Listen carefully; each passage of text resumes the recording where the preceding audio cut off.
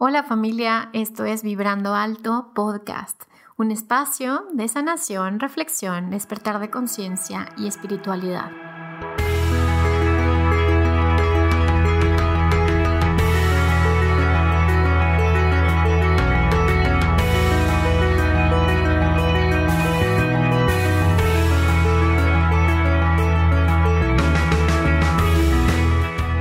Yo soy Verónica Fuentes y soy autora, sanadora, terapeuta, madre y un ser de luz que como tú vino a experimentar en este planeta Tierra.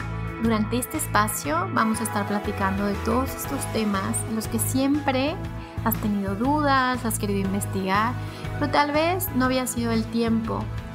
Y hoy estamos listos para abrirnos a, a una nueva dimensión y a una nueva vibración. Si tú estás listo, yo estoy lista, comenzamos.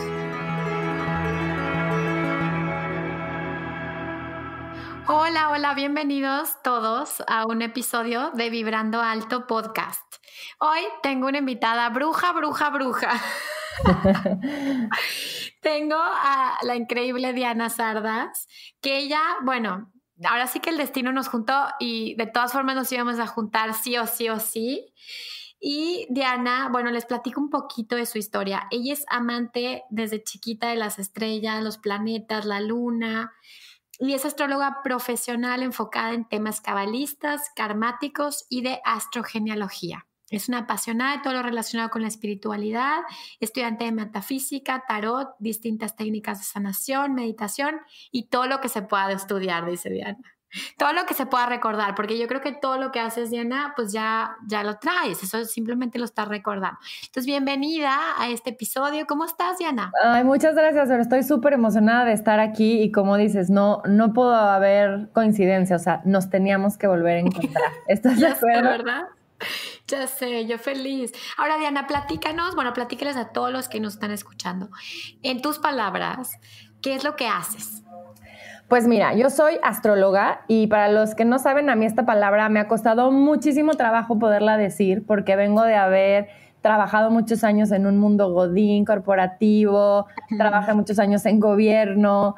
Entonces lo que hago ahora es ayudar un poco a las personas a entenderse y a trabajar y a sanar mediante la carta astral. Yo creo que eso sería un poco lo que podría describir qué es lo que hago ahora. Ok, ahora a mí lo que yo siento es que, la, o sea, uno no estudia astrología, sino que la astrología te encuentra, ¿no? Entonces, ¿en qué momento de tu vida llegó la astrología y te diste cuenta que, pues, que te había encontrado, que te había hecho ya, ya otra vez, ya es tiempo? Claro, que me había mandado el recordatorio. Me encanta lo que dices porque yo siento que todos pues en algún punto, y si lo vemos hasta a nivel historia de, de, de la civilización, siempre nos hemos asombrado en voltear al cielo, ¿no? O sea, la fecha es, ve el cielo, ve la luna, qué bonito. Y a mí empezó pues desde que era muy chiquita y la vez pasada vi un meme y se me hizo muy chistoso de cuando me seguía la luna, ¿no? Que todos nos pasaba, de que te subías al coche y, ay, me está siguiendo la luna. Y parte importante en este camino fue mi mamá, que cuando yo era muy chiquita me dio un libro que se llamaba Mi, pequeña, mi pequeño Libra. Y era un libro en donde pues, te describían un poco tu signo, yo soy Libra, em, y te ayudaban a entender. Yo nací con dos papás muy liberales que no, me, no, nos, no nos enseñaron ningún tipo de religión. Mi papá viene de una familia judía, mientras mi mamá viene de un lado muy católico. Y como a nosotras nos criaron, a mi hermana y a mí, con esta parte de, pues miren, crean lo que ustedes quieran, y nos enseñaron de todas estas religiones, yo siempre sentí que era la niña que pues no, no sabía qué religión quería ser. Y la astrología para mí fue como encontrar este camino de poder decir, pues pertenezco a alguien y le puedo encontrar un porqué a las cosas. Entonces, a mí esta parte de poder entender, wow, ok, cada uno somos de un signo y podemos clasificarnos, que ya después que empecé a estudiar me di cuenta que, claro, va más allá, ¿no? Eh, quiero eh, siempre recalcar que la astrología va más allá del horóscopo que lees en el periódico o en la revista, es, mucho más profunda, es de verdad conocerte a ti. Entonces empezó así, o sea, con un pequeño librito y pues buscando libros, porque claro, en ese entonces no estaba el internet, pero buscando libros, eh, viéndolo con personas, preguntándole qué signo eran, entonces yo así como que lo podía aterrizar en mi cabeza, el por qué cada uno de nosotros actuábamos de manera diferente si éramos tan únicos. Claro, ay, qué interesante, qué interesante porque la verdad me recordé cuando yo era niña, mi, mi abuela le apasionaba el tema de la astrología. Y pero bueno, en una ciudad chiquita, en una época muy conservadora. Y yo me acuerdo que yo de chiquita, a los que 6, 7, 8 años, me llevaba a los cursos de astrología. Me sentaba en una sillita, ya sabes, y, estaba el maestro hablando de lo que iba a pasar en el 2012. Imagínate. Todos decían, ya se va a acabar el mundo, ya sabes, viene la de cataclismo. Y, es, y yo decía, wow. Entonces, creo que, que, un, algo en común, Diana, en como que en los que somos más libres en practicar este tipo de herramientas, es que no tenemos tantas creencias limitantes, ¿no? Como que desde chicos tenemos esta, este permiso o esta apertura. Sí, creo que eso tienes mucha razón. Yo se lo agradezco mucho que mi, mis papás creo que en específico mi papá, que vino de esta, pues sí, sociedad, como te dije, una, una religión judía bastante tradicional, nos haya querido poner a nosotras, a mi hermana y a mí, ¿saben qué? Tal vez no es la única manera. O sea, no, o sea, entonces me acuerdo de mi papá y yo de chiquita, que ahí siempre estaba mi parte rara, yo decía, tenía días en los que decía, hoy quiero ser judía. Y entonces investigaba. No, ¿sabes qué? Hoy quiero ser católica. No, hoy quiero ser budista. y me acuerdo que mi papá siempre estuvieron abiertos a, oye, ¿cómo es un budista? ¿Por qué hacen esas cosas? ¿Por qué? ¿Por qué festejan distintas cosas? ¿No? ¿Por qué los judíos no tienen Navidad? Porque me acuerdo de ir a casa de mi abuela y claro, ya no tenía arbolito de Navidad. Y yo decía, ¿pero por qué? O sea, ¿en dónde, dónde está esta parte en la que todos encontramos eh, una manera de hacer las cosas distintas? Entonces creo que eso me ayudó a abrirme y yo siempre le digo a la gente que además de, de que mi ascendente es acuario, entonces tengo estas ideas muy raras y muy locas, que me permitió estar abierta a que cuando tú me dices, no, yo creo en que más bien la tierra es una canica, no sé, ¿sabes? Como que digo, pues puede ser, quién sabe, estoy abierta a todo eso. Entonces creo que eso me permitió desde muy chiquita que me haya interesado cosas que tal vez cuando le dices ahora a la gente es como astrología, ¿por qué desde chiquita te gustaba la astrología? ¿No?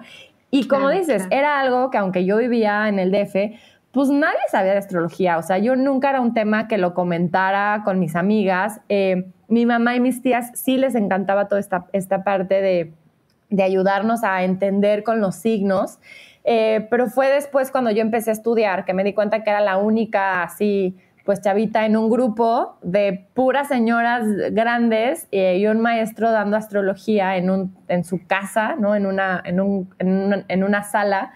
Eh, y se les hacía muy raro, como, ¿por qué? O sea, ¿por qué estás estudiando? Nosotras porque ya estamos jubiladas y no tenemos nada que hacer, pero tú, ¿por qué estás estudiando esto? o sea, ¿por qué te interesa? Y yo, pues no sé, porque le encuentro el porqué a las cosas, que ese ha sido siempre como mi, mi gran, mi gran em, investigación, ¿no? ¿Por qué? ¿Por qué? ¿Por qué?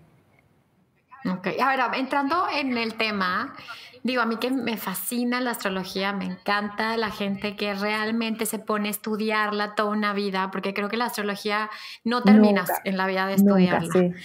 Eh, y, bueno, a mí este tema que, que me platicabas de astrología cabalista, eh, platícales un poquito a las personas que nos están escuchando, eh, Diana, ¿cuál es la diferencia entre la astrología tradicional y la astrología cabalista? Pues mira, yo empecé estudiando esta astrología tradicional con un maestro eh, de Suiza que me explicaba y era como súper, ya sabes, esto es lo que hay que hacer y así es, ¿no? Y entonces, cuando yo empecé a estudiar, como que decía, pues sí me gusta porque estoy entendiendo muchas cosas, pero yo personalmente, y lo van a escuchar mucho en esta parte astrológica, no creo que todo esté definido. Creo que venimos a este mundo a trabajar, eh, a abrir en esta parte de conciencia y a poder elevarnos ¿no? de toda esta, esta carta o este manual de instrucciones, como yo le llamo a la carta astral. O sea, es tu manual de instrucciones, pero no quiere decir que te excuses en eso. Entonces, lo que yo leía de esta eh, astrología bastante tradicional o de maestros como, como bastante... Em, eh, muy, lo que seguían mucho la, la, manera, muy ortodoxos, eh, fue empezar a estudiar Kabbalah, ¿no? Con esta historia de, de, familia judía, pues a mí me interesó mucho empezar a estudiar Kabbalah y me di cuenta que ahí se hablaba de la astrología, o sea, yo me acuerdo que cuando empecé a trabajar en el centro de Kabbalah, una de las primeras preguntas que me hicieron en la entrevista era, oye, ¿y dónde tienes tu luna? Y eso para mí fue como, no puedo creer que en mi entrevista de trabajo me estén preguntando, ¿dónde está tu luna? O sea, aquí tengo que trabajar. Y eso de entender em, la astrología desde una manera más de trabajarla. O sea, creo que la diferencia de la astrología tradicional en la que te dice, pues eres Capricornio y entonces siempre vas a ser cuadrado, a más bien esta astrología cabalista en donde queremos sobrepasar esa energía, es decir, trabajarla, que hay una manera, que no todo está escrito. Entonces, en la que entendemos que, claro, igual si eres Capricornio y eres muy cuadrado, lo que tengo que trabajar es la flexibilidad, ¿no? Entonces, creo que esto fue lo que me gustó. He trabajado y, como dices, esta parte de la astrología nunca acabas, entonces sigo estudiando muchísimo, pero creo que es lo que me ha gustado en esta parte, ¿no? Que es eh, trabajar ciertas cosas, es entender que al final lo que venimos a hacer es pues, sobrepasar esta carta astral, o sea, no ser esa carta astral, ser el... Wow, me, me encanta, me encanta porque, porque siento que, que hay, hay, hay, terapias alternativas o herramientas que te empoderan y hay unas que te desempoderan. Y, y, hay unas que te dicen, no, yo, yo soy, o sea, vaya, no se puede cambiar el destino, yo te voy a decir lo que tienes que hacer, yo te voy a quitar la brujería, págame 50 mil pesos, ¿sabes? O sea, y esto al final es pura manipulación, o sea, es una mala práctica de, de, de la verdad es que dones, regalos, herramientas que, que tienen que estar al servicio del crecimiento y, la evolución de las Claro, y creo que eso es un poco lo que le ha dado como la mala fama a la, a la astrología, ¿no? La astrología y la astronomía en un principio estaban juntas y pues claro, había toda esta gran cultura antes de que el gran sabio era el astrónomo, astrólogo que le decía al rey cuándo era el mejor día para luchar, ¿no? O sea, esta parte que hemos visto en películas como Gladiador, que era el oráculo, o cuando han visto Game of Thrones, que hablan de hace cuántas lunas pasó la guerra. O sea, estábamos más conectados con estos ciclos de, pues, del universo, de la naturaleza. Y como que siento que se fue desvirtuando y me pasa mucho que llega gente como, es que a mí me dijeron que yo nunca me iba a casar.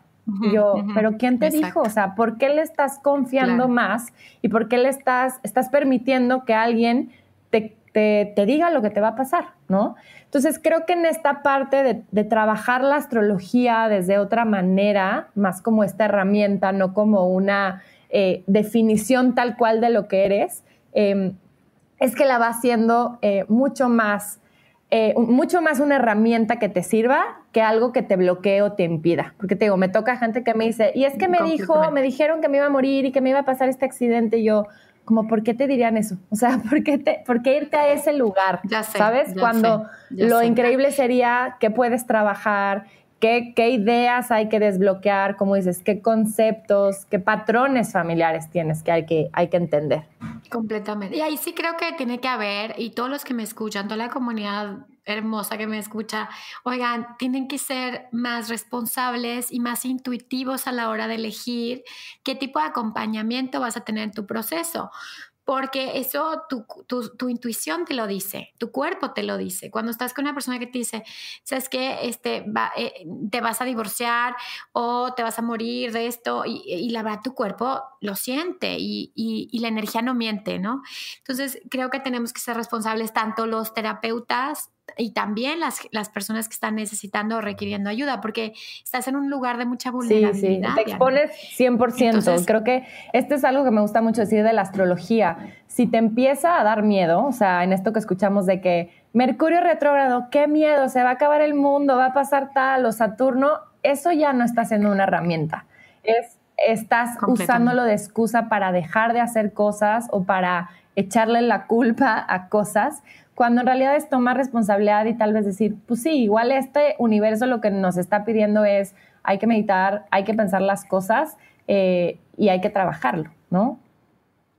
Ok, ok. Y entonces, esto de, de, la mezcla, vaya, ¿la astrología cabalista es una rama de la cábala o es, o sea, está dentro de las enseñanzas de la cábala y cada quien se especializa en eso? No, la verdad es que la cábala eh, es esta sabiduría antigua en, en, la que nos enseñan, a mí me gusta decir que es un poco como que te enseñan las reglas del universo, porque yo siempre digo que es como que llegamos a este mundo y nos dijeron, vas a jugar fútbol y te pusieron en la cancha y entonces están los jugadores y las porterías, pero pues nadie te explicó cómo se juega el fútbol. Entonces nadie te dijo que tenías que patear la pelota, que no puedes usar las manos, que había un equipo contrario al que le tenías que meter un gol. Y por eso nada más andamos corriendo por la vida como de, ok, pues no sé qué hacer, pero tengo que correr, ¿no? Y la Kabbalah te da estas herramientas. Y una de las herramientas que usa la Kabbalah, pero es desde este punto de vista más de trabajarla, es la astrología. Entonces, por eso que en las lunas nuevas sean oportunidades en las que podemos poner esta semilla y a ellos le, ellos le llaman esta cabeza de mes, Rosh Hodesh, que es pues este inicio del mes. En vez de guiarse por este calendario eh, solar, más bien sería por el calendario lunar, por estas fechas importantes. Ok, ok. Ay, qué interesante. Tengo tantas preguntas que hacerte, no sabes. O sea, cada vez que me vas diciendo cosas, digo, ay, ya le voy a preguntar de esto. Ahora, bueno, eh, dime, ¿qué, ¿qué, es lo que, o sea, qué es lo que te ha servido a ti o qué te ha funcionado a ti de aplicar la astrología cabalista en tu pues vida? Pues mira, creo que en general, tanto entender eh, lo que, los procesos por los que, eh, por los que estoy pasando y entenderles más que un por qué, un para qué. Creo que esa es una gran lección que eh, el haber estudiado la Kabbalah me ha dejado. Quitar, dejar de preguntarme el por qué me está pasando esto a mí, es dejar el papel más de víctima al para qué y hacerme como más responsable.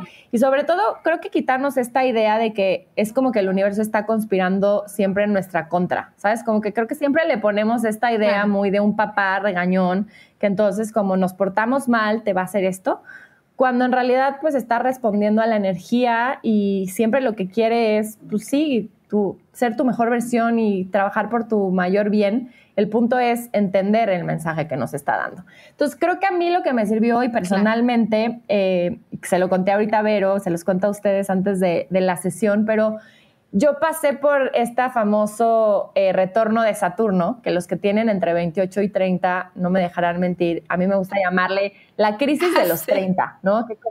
el Saturnazo. El Saturnazo. Eh, y yo soy muy saturnina, o sea, a mí mi planeta que me rige y con el que más me identifico es Saturno, entonces me acuerdo de, de, sí, haber tenido todas estas herramientas de saber, no sé, la meditación y el yoga, y ya había estudiado astrología, ya sabía acerca de esta parte del retorno de Saturno, pero igual me dio. Igual fue esta parte en la que, pues claro, yo me fui a otro país eh, porque estaba con una persona, entonces me mudé, eh, hice así, dejé todo, aprendí otro idioma y después hubo un punto en el que dije, tal vez esto no es lo que quiero y me regresé a México y empecé a buscar trabajo y estuve en un trabajo muchos años y yo decía, esto es lo que quiero, esto es lo que quiero. Hasta que hubo un punto en el que me di cuenta, esto no es lo que yo quiero. O sea, yo no quiero estar encerrada en una oficina, trabajar de 7 de la mañana a 12 de la noche, no tener tiempo para que el dinero que me pagan ni siquiera gastármelo ni disfrutarlo con la gente que quiero. Y tal cual el universo agarró y me dijo, ok, muévete, ok, muévete. Y como yo no me moví, pues hubo un punto que, cree en el universo, pues me sacó, ¿no? Y me sacó de una manera muy ruda, corriéndome de un trabajo en el que yo llevaba tres años quejándome y odiando. Entonces ahí fue cuando empecé a decir, ya el universo me está dando demasiadas eh, lecciones de que por aquí no es, vamos a ver por dónde sí es. Entonces ahí fue donde me empecé a como que a profundizar más. O sea, creo que la astrología la llevaba estudiando desde esta parte más teórica de, ah, sí, esto va a pasar, hasta que ya me ocurrió a mí, hasta que el universo te hace practicarlo. Y dije, ¿cómo podría yo ayudar a los demás a que este proceso, pues, entendieras esas herramientas? Entonces yo me acuerdo que sí, pasé por esta gran crisis en la que no sabía qué quería hacer eh, pues sí, no me ubicaba, me fui, ya saben, como a todos nos pasa, nuestro viaje de Eat, Pray, Love, eh, y me fui un mes de un retiro en el que dije, necesito estar conmigo, necesito aprender a meditar, necesito aplicarlo, necesito, necesito hacer yoga, necesito estar conmigo, necesito comer mejor. Y pues ahí fue donde empecé a conectar más conmigo y a empezar a darme cuenta que, claro, que el proceso que te pasa te está dando, eh, te, está, te está mandando al camino donde tienes que estar. Claro, claro, claro. Estoy completamente de acuerdo que, que, las crisis más fuertes que yo también he vivido en mi vida, como que es, es, el empujar, o sea, es como cuando tu alma te está empujando hacia un lugar, pero hay resistencia porque tu ego, porque tu sistema familiar, porque tus creencias te están tirando al otro lado, ¿no? Entonces, mientras más resistencia tiene tu ego, pues más dura la crisis. Pero al final me doy cuenta que el alma tiene un camino y que al final cuando vas fluyendo y, abriéndote a escuchar este camino, pues supongo que es mucho más sencillo. Y creo que estas herramientas como, como la astrología trabajada desde donde la trabajas tú, Diana, pues ayuda a muchísimas personas a darse cuenta que son procesos que van a pasar, que puede, que puede trabajar en, o sea, en sí mismo para sanar cosas particulares que según tengo entendido, Diana, también manejas la astrogenealogía y, y, bueno, quiero que nos platiques cómo, cómo es que eso puede, esta herramienta puede ayudar a la gente a sanar aspectos pues de su sistema familiar, de sus vínculos, de su clan. Claro, yo como te digo, lo que me ha ayudado tanto la astrología es eso, que más me doy cuenta que, que menos me conozco, ¿no? aunque, porque hay gente que me dice como, pues sí, te, seguramente tú con la astrología ya sabes perfecto, conoces a las personas y yo, pues no, porque somos tan complicados, ¿no? O sea, tenemos una combinación única y me encanta decirle a la gente, eh, sobre todo si no están como muy familiarizados con esta parte astrológica y lo único que sabían era como el signo que son, que cuando yo hago la carta astral, eh, esta foto del cielo, que es eso, la foto del cielo cuando naciste, eh, te va a decir tu manual de instrucciones único. O sea, si lo pensamos a nivel estadística, eres una en 60 billones de posibles combinaciones que pudieron haber sido. O sea, es un manual muy único. y por eso somos tan complicados. Por eso no es como, ay, todos los Capricornio van a ser igual, todos los Libra van a ser igual. No, tenemos, o sea, de verdad, somos tan complejos y por eso está gran llamado a conócete, conócete, conócete, ¿no? Ve hacia ti. Eh, y esto es la herramienta que me ha ayudado. Y mientras más voy estudiando, más me he dado cuenta que hay capas y capas y capas. Y una de ellas fue en esta parte de los patrones familiares. Yo llevaba muchos años estudiando metafísica y pues me fui dando cuenta que, claro, hay, hay patrones que si no vas haciendo consciente, repites. Eh, y eso lo tenemos muy, muy consciente, ¿no? Eh, yo de repente empecé a decir frases como, soy mi mamá, soy mi papá. O sea, todo lo que yo decía, jamás voy a ser tan estricta con la limpieza o tan controladora y terminas siendo como tus papás. Pero va más allá de eso, ¿no? Va más allá de esa parte de, eh, pues sí, igual historias familiares que no conoces, igual entender un poco las historias, y sobre todo apreciar un poco nuestro árbol genealógico. Entonces, con la astrogenealogía, eh, vi que en la carta se puede ver eso. O sea, la astrología es como esta rama en la que, eh, más allá de hacer constelaciones, que como yo le decía a Vero, yo es algo que nunca había hecho, porque como que me daba un poquito como de cosa, em, pero lo he trabajado con la, con la astrogenealogía. Entonces me he dado cuenta que es algo súper importante de trabajar. ¿Cuál es el patrón que tienes? ¿Cuál es la historia familiar? Entonces yo siempre en las sesiones lo que les ayudo a trabajar es cómo es tu árbol genealógico. O sea, sé consciente de todas estas historias que tenemos. Eh, si no conoces a tu abuelo, ¿por qué? O sea, ¿qué representa esa figura masculina? ¿Por qué no está? Y en tu vida, ¿dónde hay figuras masculinas que están desapareciendo? O sea, creo que eso es lo que a mí me ha ayudado a entender. Ahorita, igual, Vero, que te contaba, que ahorita que yo me mudé de ciudad, eh, lo que me ha despertado en mí es toda esta parte de historias de familia que yo tengo que tuvieron que emigrar. Entonces, un poco parte de mi miedo, que es lo que he estado trabajando, es, además de que es mío, es de esta historia familiar que, claro, tuvieron que moverse del lugar porque, o porque las condiciones no eran buenas o porque los estaban persiguiendo por situaciones. Entonces, me he dado cuenta que los patrones, si no los hacemos conscientes, y no los sanamos, todo lo que haya pasado siete generaciones arriba, que ya sé, me van a decir siete generaciones arriba, ni siquiera sé cómo se llama mi abuelo, mi bisabuelo, ¿no? Pero si vamos haciendo consciente un poco la historia, podemos ayudar a sanar las siguientes siete generaciones que vengan. ¿no? Eso, eso es lo increíble. Completamente. Ahora, te voy a decir algo, Diana. Yo eh, como que últimamente he hecho conciencia de, bueno, yo que, que, me apasiona el tema de ancestros, me encanta, eh, y bueno, decía el maestro Bergelinger que tenías que ver dónde, dónde estaba tu alma, ¿no? Y a veces tu alma está en las constelaciones, y a veces está en el transgeneracional, a veces está en la astrología. Entonces mi alma eh, vivió como estos lapsos en los que estuve trabajando con ancestros muy pesado, o sea, muy fuerte, y luego otra vez regresa otro ciclo en el que vuelvo a trabajar con los ancestros. Y me apasiona porque tengo esta intuición de que realmente el tiempo todo sucede simultáneamente. Entonces, los ancestros están viviendo ahora, ¿no? Entonces, todo lo que sucedió, entre comillas, pues está sucediendo en este momento. Y entonces, cuando empiezas a ver que el tiempo es una construcción mental con esta linealidad en la que trabaja nuestro cerebro hasta hoy, pues te das cuenta que el tiempo no es así, ¿no? Y hasta eh, ayer platicaba con una amiga y decía, bueno, hasta los niños lo entienden, ¿no? Los niños no saben qué día es hoy. Los niños te dicen, mamá, ¿qué día es hoy? Porque para ellos viven el presente como, como lo único que existe. Y entonces tengo esta intuición de que cada vez que trabajo con ancestros de alguna persona que aunque me dicen, ay, yo ni lo conocí, y en realidad es absurdo porque el abuelo, bisabuelo, están en ese momento en ese instante manifestados a través de esa persona. Entonces te das cuenta que al final es milagroso, ¿no? Porque lo que puedes hacer como una sanación que puedes realizar de una cosa tan sencilla resulta una sanación inclusive hasta sí, me encanta eso porque eh, cuando, cuando le digo a la gente, o sobre todo te digo, yo que lo he trabajado, porque siempre me gusta explicar que si estoy dando la sesión y, y les cuento de algo o estamos hablando de un tema que hay que trabajar, les digo, entiendo perfecto de dónde es porque yo también lo he trabajado, ¿sabes? Creo que nosotros como terapeutas a veces piensan que, Que, es así como, no, wow, meditas, haces yoga, eres astrólogo, así ya sabes todo y no, al contrario, o sea, siempre digo que si estamos en este camino es porque tenemos que chambearle en toda esta parte, pero lo puedes compartir desde este lado de haberlo trabajado tú, ¿no?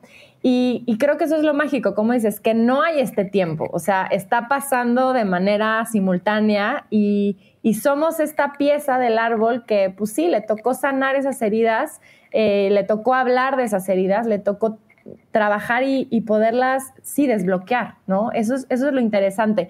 A veces sentimos que tiene que ser muy complicado. Creo que esto es lo que yo he entendido más en esta parte de astrogenealogía, en general de astrología, en general de la energía del universo que siempre pensamos que todo es muy complicado y como humanos nos encanta complicarlo.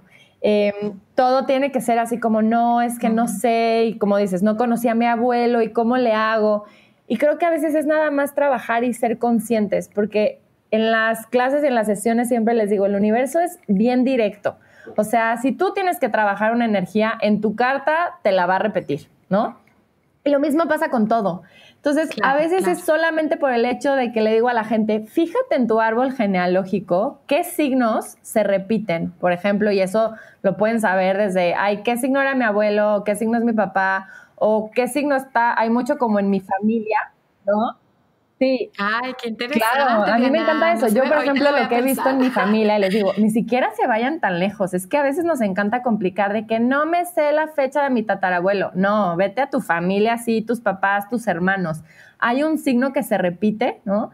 Yo lo he visto mucho en mi familia, del lado de mi mamá. El Géminis se repite mucho.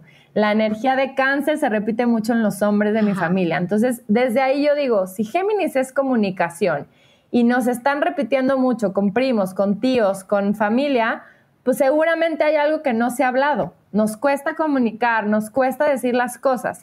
Eh, si hay un signo que es cáncer y se repite mucho, entonces yo lo veo que tengo tíos cáncer y tengo sobrinos cáncer, pues claro, ahí ya estoy viendo que seguramente la parte emocional, ¿no? En esta parte sobre todo de hombres y de familia, pues hay algo que está bloqueado, ¿no? Entonces, creo que ahí ya con eso es, puede ser tan simple de, ah, ok, me doy cuenta de eso y ya puedo eh, ir buscando herramientas para trabajarlo y para sanarlo, que por eso es increíble que haya tantas ahora.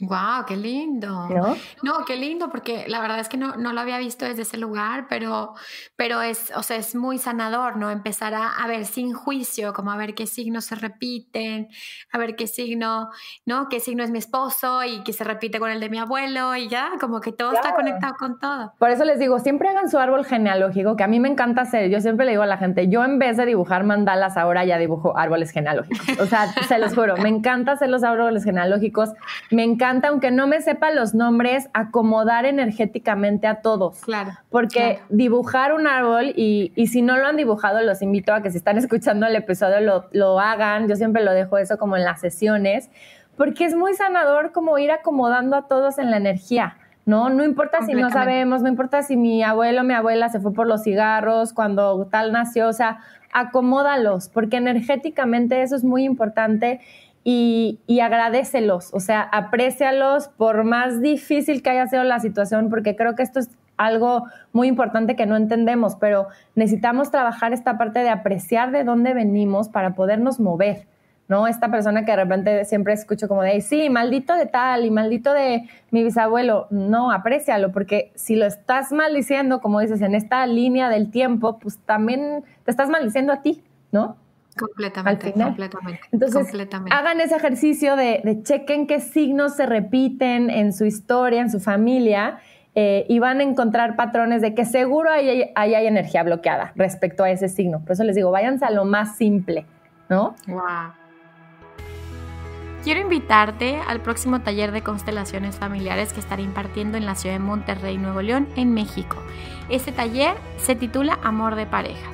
Será el 15 de febrero y cualquier información adicional está en mi página www.verofuentesterapeuta.com.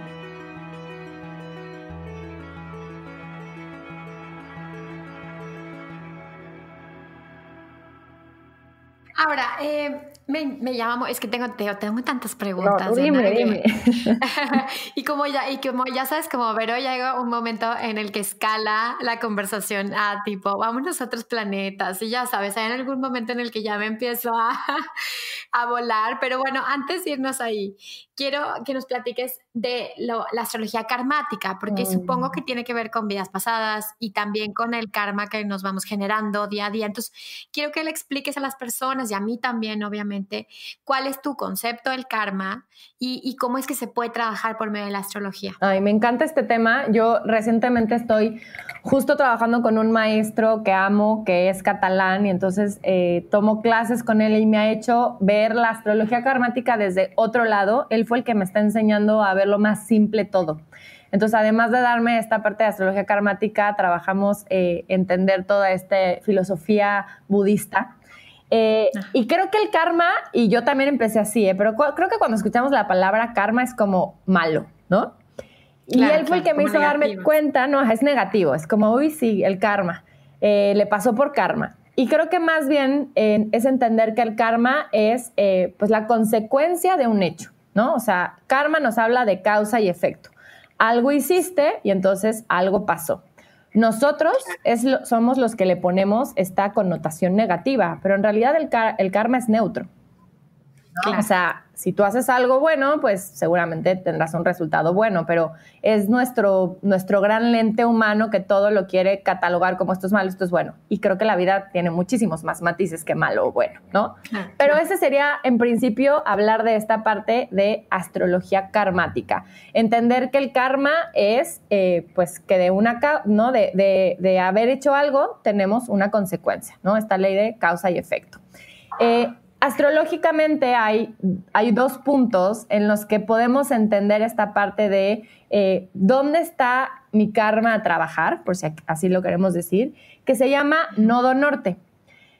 Es la famosa misión de vida y es cuando escuchamos que está pasando el eclipse. Entonces, cuando tú escuchas que están pasando eclipses, es que más bien hay como estos puntitos que el universo nos está diciendo a todos en general, hey, necesitan enfocarse en esto. Ejemplo, ahorita que estamos 2020, eh, ¿no? El karma que nos está pidiendo, más bien las lecciones del universo, nos dicen que vayamos a cáncer y soltemos el Capricornio. ¿Qué significa esto?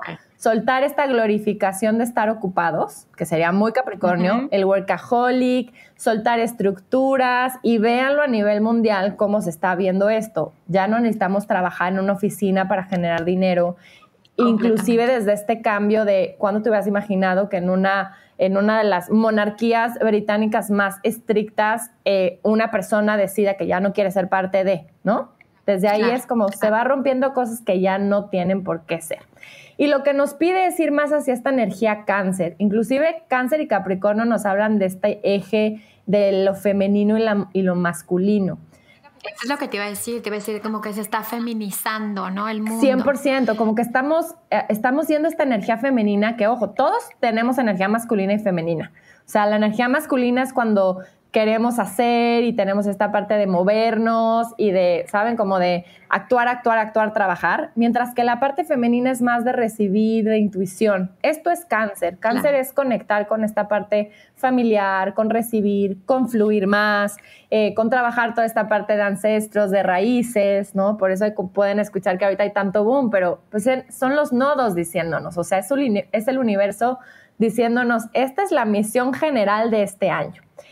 Y a nivel, a nivel personal, todos traemos una misión, es decir, todos nacimos cuando ocurrió un eclipse, ¿no?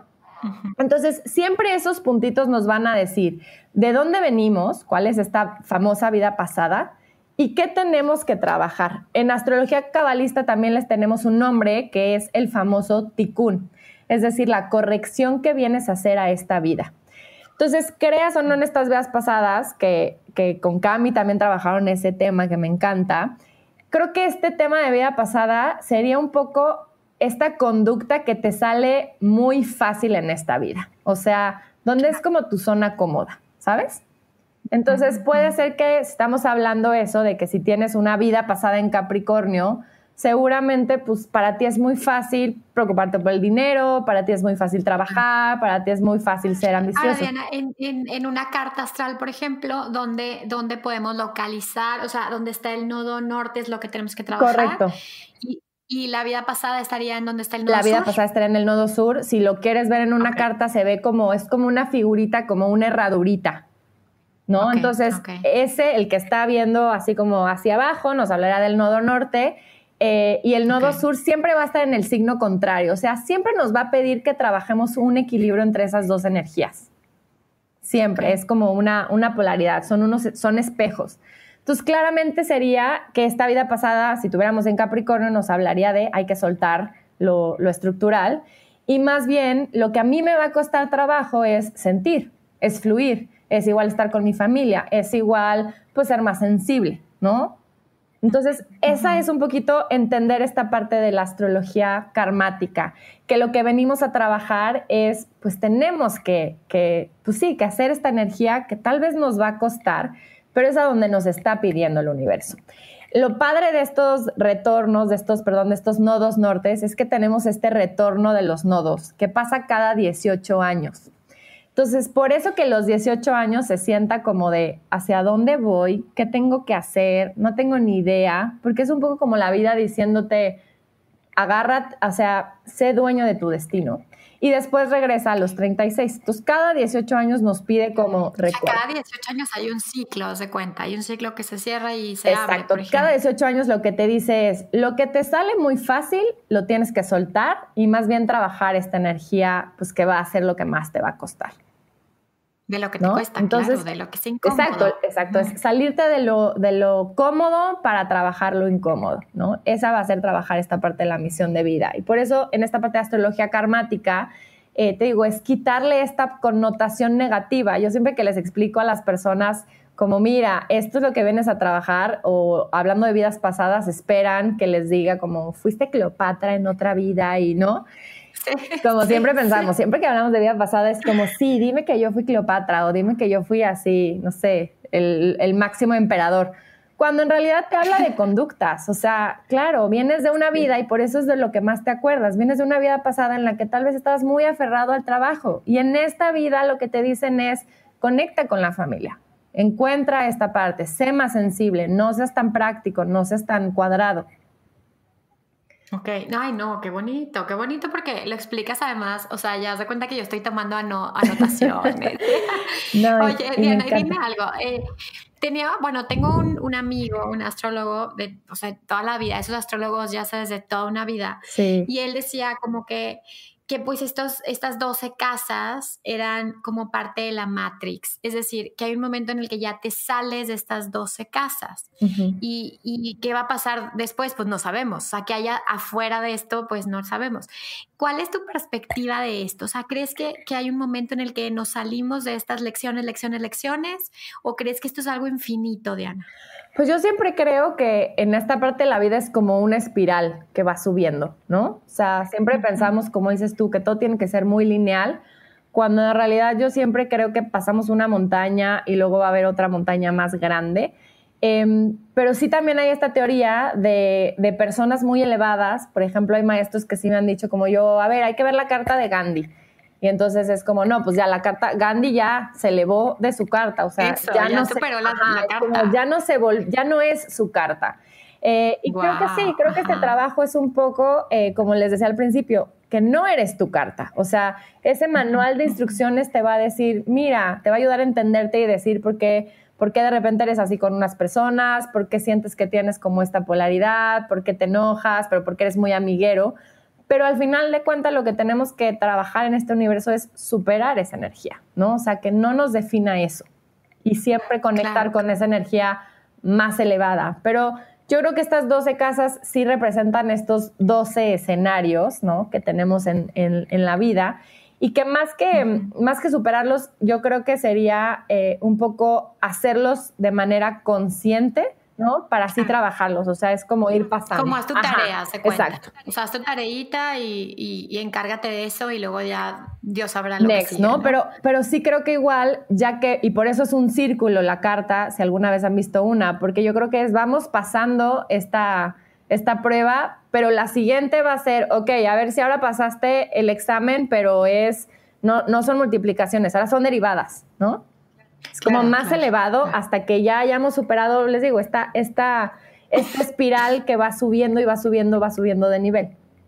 Wow, sí, sí, me, me hace todo el sentido. Y bueno, y ahora quiero preguntarte algo. Eh, yo, yo tengo esta también, esta percepción de que cualquier herramienta, tarot, constelaciones, numerología, astrología, tiene mucho, mucho, mucho, mucho que ver, o sea, 99% con la persona que te lo está leyendo. O sea, eh, ¿qué, me puedes decir de eso? Porque yo siento que mientras más trabajo personal y nivel de conciencia que tiene la persona que lo está haciendo, pues obviamente eh, eh, ahora sí que abarca temas muchísimo más profundos. O sea, ya no está en la personalidad, sino ya se va al, alma, inclusive al espíritu.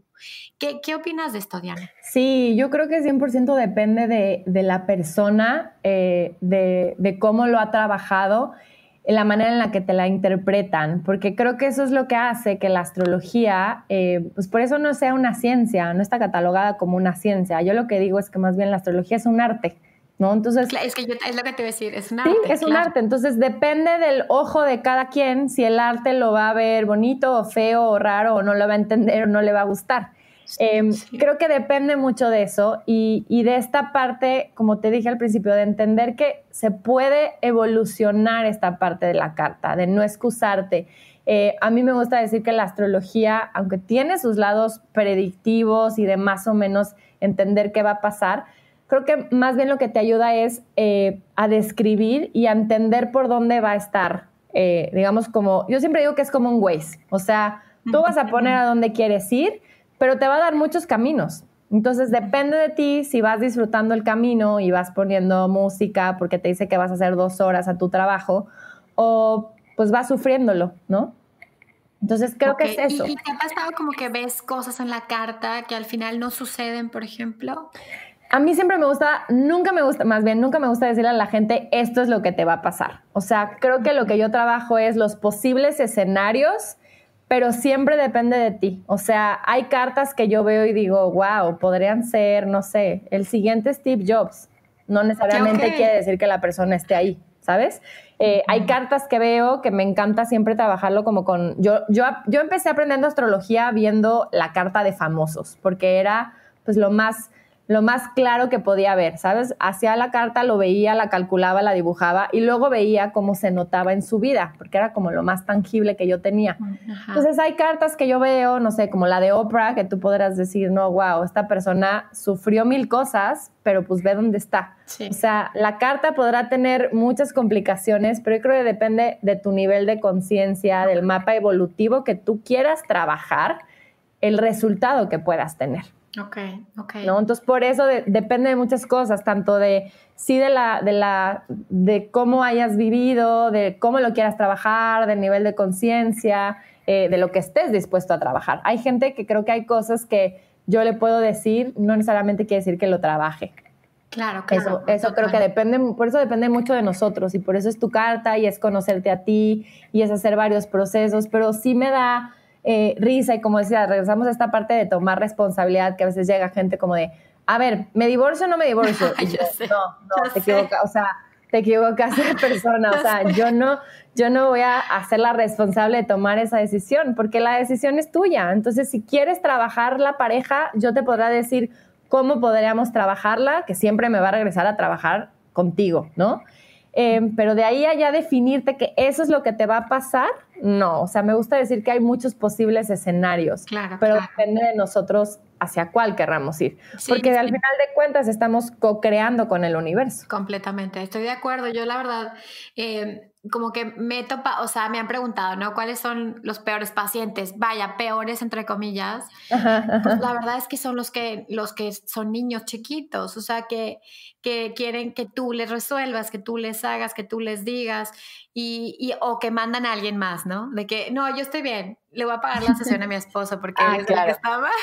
Claro, mira, a mí hay algo que siempre me da risa que la gente cuando en este tema de pareja, que creo que es un tema súper importante que siempre queremos trabajar, la gente siempre me dice como, quiero hacer mi carta, que es una carta que se llama sinastría, es decir, juntar la tuya y la de tu esposo, la de alguien más para saber qué te viene a enseñar la persona.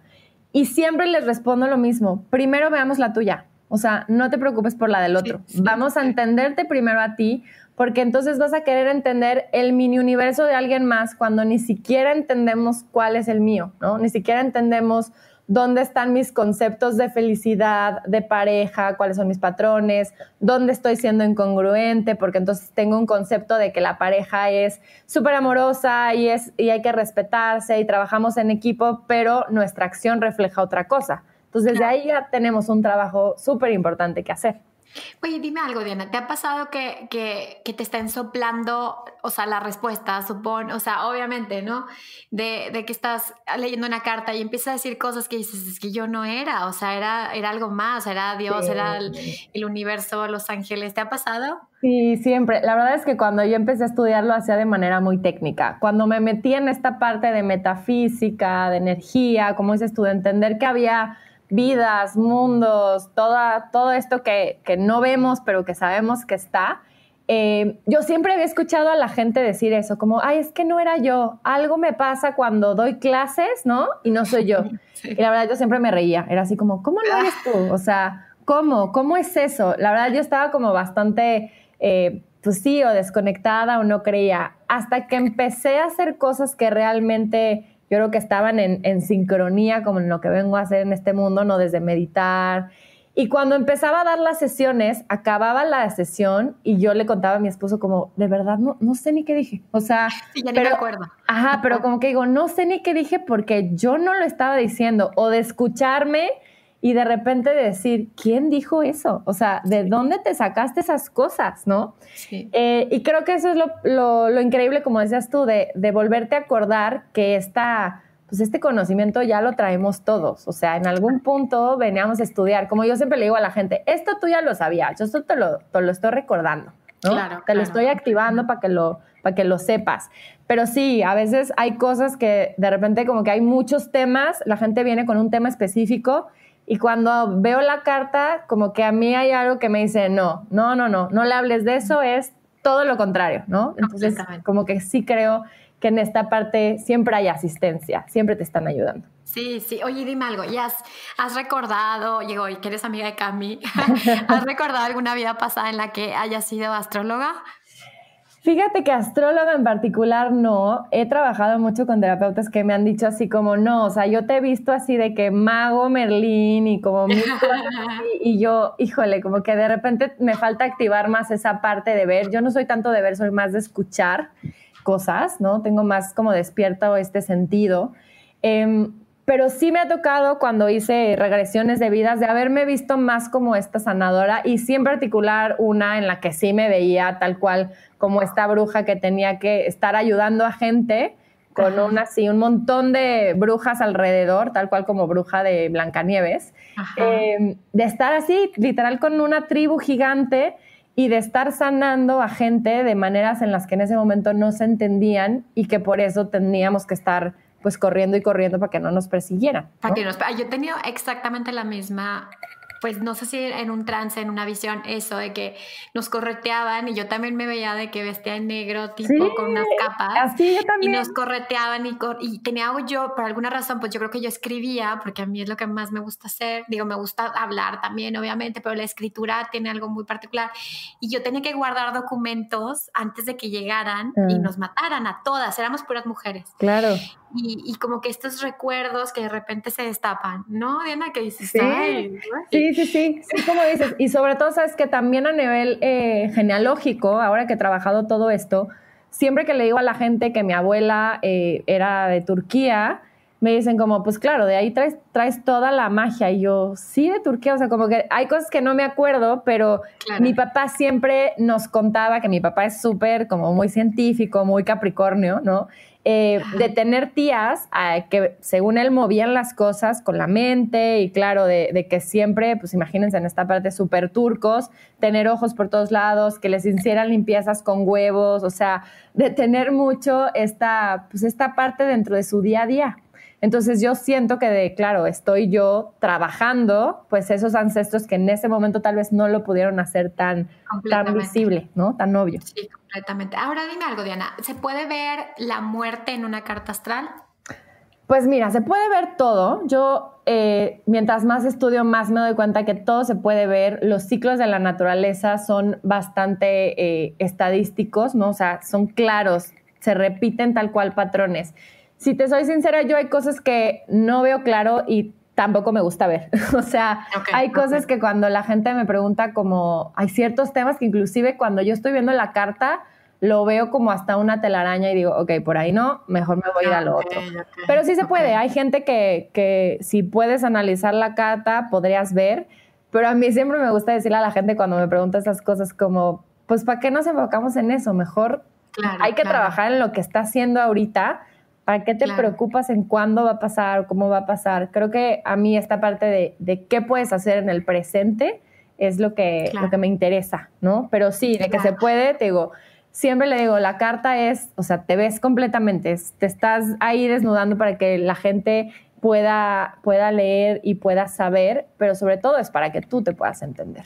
Ay, claro. Y ahora dime, eh, se pueden hacer cartas astrales de países, se pueden hacer de empresas, de, qué más se puede hacer carta De todo. Una carta astral, para que entiendan a mí esta parte mágica o esta como descripción más esotérica que me gusta decir, es que es tal cual la foto del cielo de cualquier cosa que, que sucedió, de cualquier, ya sea una persona, un perro, cualquier cosa que haya nacido. Entonces estamos pensando en que nació una empresa, una relación, nace una persona, un animal, un país, se puede hacer. O sea, es tal cual agarrar y salir y tomar una foto del cielo. Yo siempre digo a la gente que cuando les enseño su carta, les digo, mira, esta es la foto que te tomó tu, tu deva o tu hadita mágica cuando naciste y entonces como que salió al cielo, clic, y te dio como, bienvenido al mundo, este es tu manual de instrucciones, ¿no? Y todo tiene una carta, o sea, desde un país, desde una relación, ¿no? Todo podemos sacar una carta para que nos ayude a entender un poco cómo es la energía, qué se tiene que trabajar, porque estamos pensando que pues, todo es energía, es ayudar a entender por dónde tenemos que trabajar esta energía.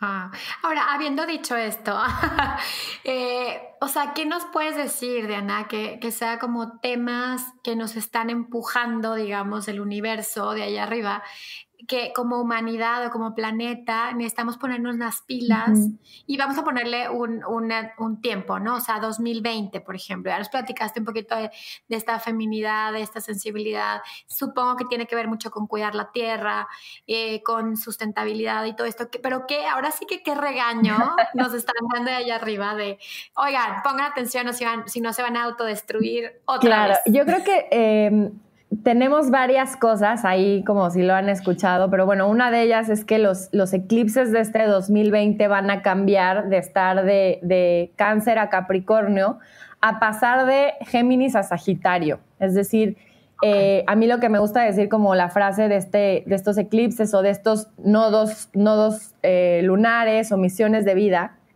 es un poco como soltar este falso gurú o esta parte de creernos que sabemos todo a volver a ser estudiantes, a volver a ser más flexibles, a, tener más esta parte creativa, más de idea, que es un poco como regresar de una energía muy sagitario, muy de que todo lo sabe, muy aferrado a una verdad, a más bien irnos a esta energía de Géminis, de ser más flexibles y abrirnos. Y ojo, cuando estoy hablando de la energía Sagitario, no se sientan mal los Sagitarios. Es, es cuando estamos hablando de esta parte que hay que soltar, es la energía baja, ¿ok?